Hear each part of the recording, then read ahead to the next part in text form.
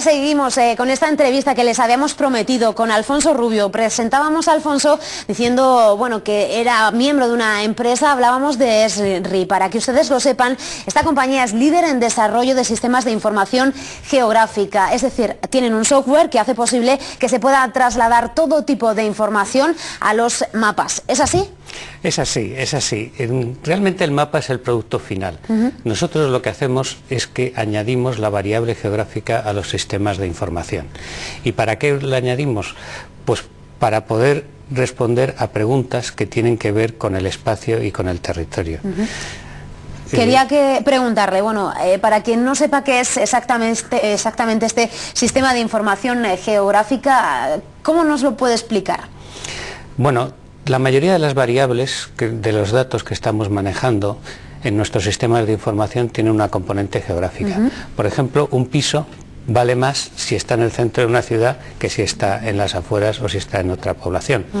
Una zona puede estar más en riesgo de inundación si está más cerca del cauce de un río y, en un, y en un barranco. Todo eso son preguntas que para responderlas es fundamental manejar la variable geográfica. Nosotros lo que añadimos es la variable geográfica a los sistemas de información y herramientas para explotar esa variable geográfica. Y una de las formas de explotarlo es reflejarla en un mapa. Eh, decía usted, Alfonso, que lo último era el mapa. ¿De qué manera se desarrollan estos sistemas? Cuéntenos. Estos sistemas se desarrollan a base de captura de información es una captura de información que lleva mucho tiempo y que es muy costosa porque necesitamos saber medir cada punto, cada elemento donde está. Por ejemplo, las grandes compañías eh, de utilities, las telefónicas, eh, canales de segunda, etcétera, que quieren gestionar dónde tienen sus, activos, tienen que ir midiendo con un GPS o sobre un mapa o con puntos de referencia cada uno de ellos dónde está. Es un trabajo muy costoso, pero al que luego se les ha compartido tremendo. Me habla de empresas privadas, aunque sobre todo están enfocados no tanto a empresas privadas, sino más a administraciones públicas. Es lo que más han tocado durante estos 20 años aquí en nuestro país. Hablábamos, por ejemplo, del Ministerio de Fomento, de Agricultura. ¿De qué manera utilizan las administraciones públicas estos sistemas de información geográfica?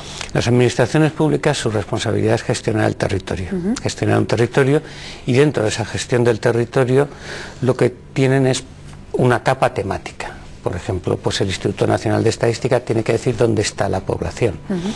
Eh, el Ministerio de Fomento tiene que decir dónde están las carreteras y dónde va a invertir en esas carreteras. Entonces, nosotros hemos empezado con las administraciones públicas porque son los responsables de gestionar esa información territorial. ¿Qué ocurre? Que cuando ya esa información territorial se ha creado, se puede aprovechar para otro tipo de aplicaciones, como pueden ser las aplicaciones, lo que es la segunda oleada, que serían las compañías que tienen muchos activos en el territorio, y activos caros, como pueden ser las compañías de telecomunicaciones, y la tercera son usuarios finales que no pueden pagar ese, esa carga de información, porque a ver, no es su responsabilidad, pero que pueden explotar la información que hay disponible. Ustedes llevan en nuestro país desde 1991, han pasado pues bueno, 20 años. ¿Qué es exactamente, en qué punto se encuentran y qué es exactamente lo que han hecho hasta ahora? Y si a partir de este momento hay un cambio, hay un boom tecnológico, si pudiéramos eh, denominarlo así. Pues sí, yo creo que estamos en un momento muy interesante. Mire, eh, como le decía, nosotros empezamos a trabajar en estos sistemas hace veintitantos años. Nuestra compañía se fundó en el año 69 en California. Llevamos bastante tiempo en esto. Y en este tiempo se ha hecho un esfuerzo muy importante de recopilación de información, de puesta en orden de esa información, de mantenimiento de esa información. Y ahora mismo hay una riqueza muy importante de información. En este país, por ejemplo, se está volando todos los años el territorio nacional con una fotografía de tamaño de píxel de 50 centímetros. Es esto de lo que estamos hablando para todo el territorio y se está bajando a tamaños mucho más, mucho más pequeños. ¿Qué ocurre? Que esa información la utilizaban, los organismos la creaban y la utilizaban internamente. Pero desde la ley de, 2007 de acceso de información eh, de las administraciones públicas hay un esfuerzo liderado por estas mismas administraciones, de comunicar esa información y de sacarle más partido. Entonces, ¿eso que nos va a permitir? Nos va a permitir acceder que mucha gente que no tiene ni la responsabilidad, ni sobre todo el dineral que cuesta crear esta información, que sean capaces de crear unos sistemas añadiendo simplemente la información con la que, que, para ellos es interesante. ¿Y de qué manera llega a los usuarios? ¿Cómo la podemos eh, utilizar nosotros? Porque a lo mejor lo pensamos un poco en abstracto y sobre el papel no sabemos exactamente eh, en qué nos estamos beneficiando de eso que ponen ustedes sobre la mesa. Bueno, hay muchos webs ahora mismo donde al final estamos viendo un mapa detrás de ese web. Eh, por ejemplo, nosotros tuvimos una experiencia muy importante aquí en el Ayuntamiento de Madrid, ya hace 10 años, en la difusión del Plan General de Ordenación Urbana. Ese Plan General de Ordenación Urbana se difundió a través de Internet y se difundió con unas herramientas que permitían tocar, pinchar en cada elemento geográfico y saber qué tipo de protección tenían o qué ficha urbanística había detrás. Como eso, mm, pues muchas, muchas aplicaciones. Ahora estamos en la campaña de la renta y si muchos estamos mirando cuál es el valor catastral de nuestra vivienda, si queremos ver dónde está, eso está accediendo a un sistema de información geográfico del, del Ministerio de Hacienda, donde están reflejadas todas las, todas las viviendas de los españoles. Alfonso, buscando información al respecto de ESNRI eh, en nuestro país, eh, vemos por ejemplo que puede servir este sistema para determinar nuevas fronteras nacionales durante los procesos de paz. Cuéntenos esto porque es bastante curioso.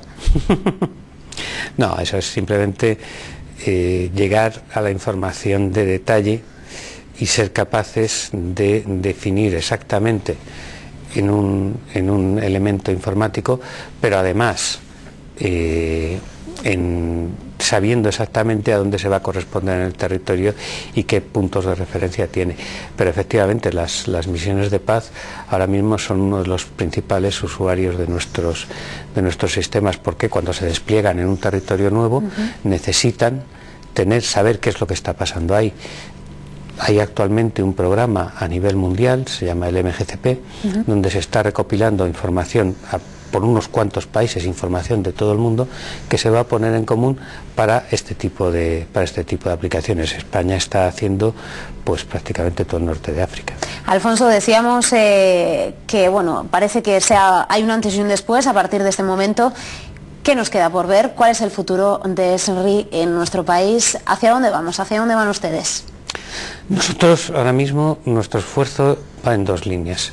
Primero, en dar una solución lo más completa posible. Y por eso estamos haciendo un esfuerzo muy importante en invertir en ese valor añadido sobre los datos de las administraciones públicas. Tenemos un primer ejemplo, si quieren alguno de los espectadores verlo, es una web que se llama Mapa Base, donde tenemos eh, en colaboración con el Centro Nacional de Información Geográfica toda la información del 1.25.000. Nuestro esfuerzo es llegar, ese, ese esfuerzo que se ha hecho durante esos últimos 20 años en crear esa información, acercarlo lo más posible. Y veíamos antes los iPhones, los iPhones es simplemente una forma de entrar a los sistemas, pero lo importante son los sistemas que hay detrás. Pues eh, lo importante los sistemas y detrás de esos sistemas eh, está Alfonso Rubio, consejero delegado de RI en España. Muchísimas gracias por estar con nosotros en Intereconomía, en Capital, la Bolsa y la Vida. Ustedes ya saben, se quedan con el pronóstico ahora de la información, de lo que va a ser noticia y continuamos en Capital, la Bolsa y la Vida.